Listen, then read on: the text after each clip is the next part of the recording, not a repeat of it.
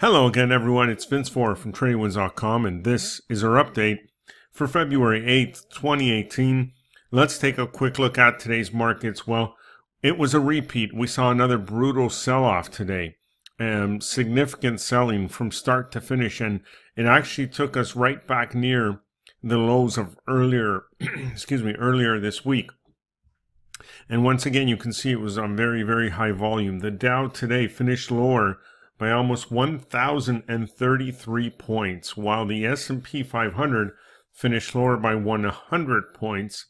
The Nasdaq got absolutely creamed. The Nasdaq was down 275 points and has actually already broken through those lows from earlier in the week, while the uh, Russell was down 44 points. So um, this actually takes us now into uh, bear territory. If you look at, at percentage wise from the highs, we're off more than 10%. I mean, this is a, a very, very significant drop here for equities. And again, most of the talk due to the yields, bond yields. Bonds continue to be under pressure.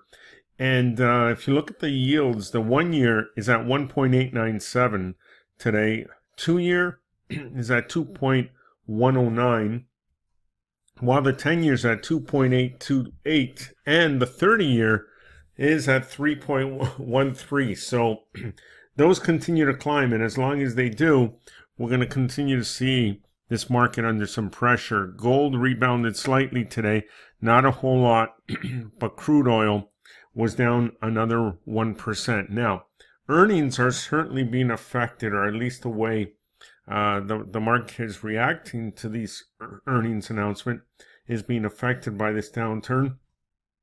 Yesterday we saw Tesla come out and um, come out with better than expected numbers. We expected to see them higher this morning. Well, that certainly didn't happen. Have a look at that. Down 9% today. Just crazy. Even Twitter, which posted their first profit ever and um, you know, opened higher by about 30% this morning. It was like just an enormous pop, more than gave back half of it by the end of the day, finished higher by about 12% or so. Now, after market close, Nvidia came out, really blew away earnings, came out at $1.78 compared to a, a buck 17 that was expected. Also beat uh, on the revenue line um, handily.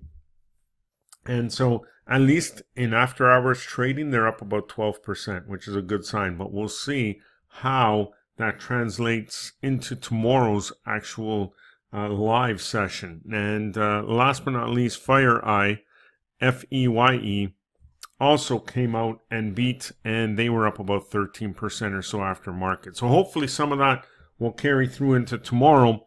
But for now, the one thing to watch is to see if the Dow and the S&P can remain above these lows here, bounce pretty quickly. This market des- desperately needs that right now. That's about it for now. Enjoy the rest of your day, and we will see you on our next update.